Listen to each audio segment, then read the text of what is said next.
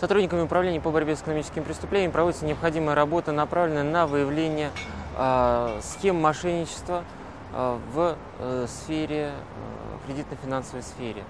Э, можно говорить о различных видах совершения мошенничества, как совершаемого гражданами в отношении юридических лиц, так и совершаемого юридическими лицами э, в отношении граждан. Если э, говорить непосредственно о каких-то мошеннических схемах, совершаемых юридическими лицами в отношении граждан, то, конечно же, необходимо ответить, отметить несколько различных позиций. В последнее время участились случаи совершения мошеннических операций, связанных с недвижимостью.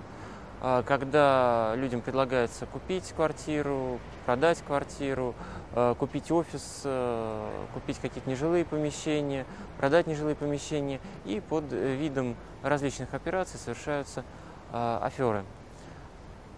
Необходимо четко понимать, где вы собираетесь купить недвижимость, у кого вы собираетесь купить, и, естественно, проверить все необходимые документы. Не э, стесняться перепроверять документы, не стесняться обращаться в государственные органы, которые э, якобы выдали эти документы для того, чтобы проверить их действительно подлинность, э, поскольку зачастую на рынке присутствуют поддельные документы. Э, предположим, человеку предлагают купить какое-то небольшое помещение, э, предоставляют документы, на самом деле эти документы поддельные, и продавец не имеет никакого отношения к данному помещению. Естественно, стоимость недвижимости в Москве достаточно большая, и э, сделка даже по покупке небольшого помещения э, может составлять э, от 100 тысяч долларов и выше.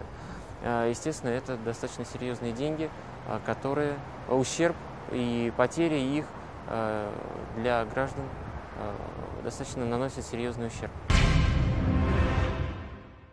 Необходимо внимательно относиться к о заключении договоров с различными фирмами. А, наши сотрудники выявляли случаи, когда специально мошенники создавали определенные конторы, а, которые якобы предоставляли либо, предположим, продукты питания продавали, либо какие-то бытовые, технику, может быть, еще что-то, а, автозапчасти, заключали договор на продажу того или иного вида товаров, э, после чего принимали деньги, но под различными видами отказывали в выполнении взятых на себя обязательств, э, пытаясь свести данные взаимоотношения к гражданско-правовым отношениям. То есть вынудить человека обращаться в суд, судиться, а, естественно, это долгий процесс. Э, а, таким образом набирали деньги и пытались скрыться. Но нашим сотрудникам удалось задержать несколько подобных преступных групп, и не только их рядовые участники были привлечены к ответственности, но и непосредственно руководители также понесли заслуженное наказание.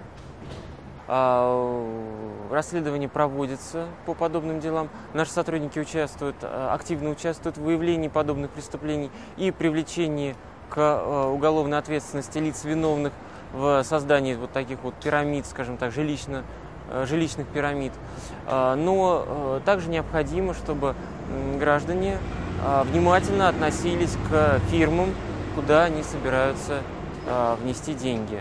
А, под какие объекты они собираются внести деньги.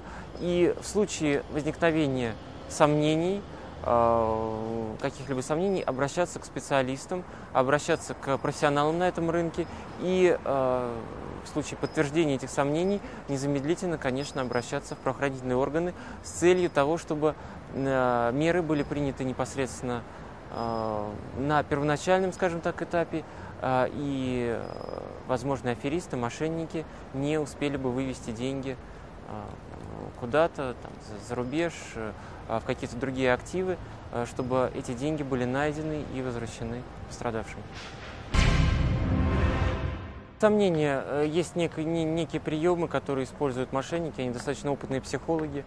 Создается специально ажиотаж, создается э, ситуация, когда э, если там 5 минут у вас, мы вам дадим машину, едем к вам домой, берем деньги, вносим, э, естественно, это должно насторожить людей.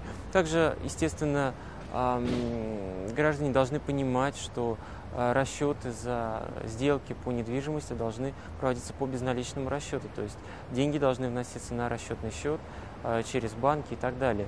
Э, если вы приходите в какую-то комнатенку в подвале и вам предлагают внести наличными денежными средствами, там, положим, 100, 200, 300 тысяч долларов, и э, вам не дают никаких документов на это, какой-то там или какой-то квиточек, да, что вы оплатили, это, конечно же, вас должно насторожить, и э, в данном случае незамедлительно необходимо обращаться в правоохранительные органы. Скорее совершаются мошенничество гражданами в отношении этих организаций. То есть и э, операции с кредитными картами, и с кредитами, и в области страхования – когда граждане придумывают различные хитроумные схемы для а, обмана а, финансовых институтов. Также необходимо говорить и о попыткам, предположим, списать какие-то акции с счетов реальных владельцев, внести изменения в реестры. А зачастую э, мы сталкиваемся с тем, что мошенники, э, пользуясь различными поддельными документами, списывают акции со счетов реальных владельцев. Было выявлено несколько десятков таких случаев, когда мошеннические группы подделывали документы, паспорта, доверенности и э, у реестра держателя списывали эти акции, потом, естественно, пытались их продать, иногда удачно, иногда неудачно. А, но в любом случае такие преступные группы выявляются. А, было выявлено несколько десятков их, и э, организаторы этих преступных групп получили наказание по решению суда а, около 10 лет лишения свободы. Зачастую мошенничество да, пытаются э, совершить именно в отношении достаточно известных э, компаний, списать акции известных компаний – естественно, тут нельзя говорить о каких-то именно рейдерских схемах, а, а, что характерно для, предположим, небольших компаний, да, когда, если уж происходит перерегистрация, да, какие-то там мошеннические операции, то списываются значительные пакеты акций. Да. В смысле известных компаний пакеты небольшие относительно, да, 100-150 тысяч долларов, но мошенники идут на это, Пожалуй, самое большое мошенничество было, когда пытались списать акции на 3 миллиона долларов э, единовременно.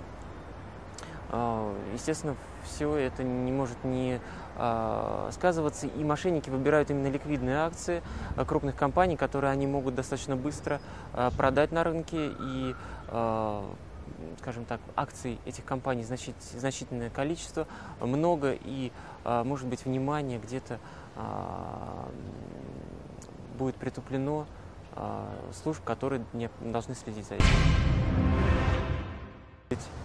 А, вообще покупка акций это нормально, да? Продажа, покупка акций это нормальный инструмент.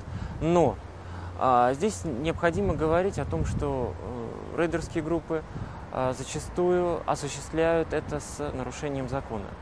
Э, Причем э, статьи, которые нарушаются Уголовного кодекса, а, их значительное количество, начиная от, э, скажем так, общеуголовных статей, то есть это и шантаж, это и а, различные методы давления, а, угрозы и так далее. И такие, можно сказать, сугубо экономические статьи, как, скажем, незаконный доступ к коммерческой информации соответственно, использование ее. Незаконное получение выписок из реестра акционеров и так далее, и так далее, и так далее. Только за последние несколько месяцев было возбуждено несколько уголовных дел по незаконному доступу именно к коммерческой информации, составляющей коммерческую тайну, непосредственно к доступу к реестру. То есть рейдер незаконным путем получает доступ к реестру, после чего пытается осуществить скупку. Но изначально нарушен закон, Уголовный кодекс, и подобные сотрудники различных фирм, кто причастен к этому, привлекаются к уголовной ответственности. А простому а, акционеру, у кого небольшой пакет акций, необходимо, конечно же, взвесить всю информацию, получить информацию, может быть, в СМИ, независимую информацию, изучить вопрос и, сопоставив цену, за которую предлагают акции, сделать для себя выбор. Не всякого сомнения, рейдеры пользуются э, действительно слабостями, причем слабостью зачастую там, сотрудников предприятия. А, то есть они ищут слабое звено и, обладая определенными денежными возможностями, они, конечно же, а, подкупают, говорит, можно говорить проще, да, а, подкупают определенных сотрудников, определенных людей, которые либо обладают информацией, либо могут ее обладать, либо могут ее получить. А, чем и пользуются, а, не секрет, э, рейды, вообще рейдерство, оно достаточно, скажем так, обладает коррупционной составляющей, это вне всякого сомнения.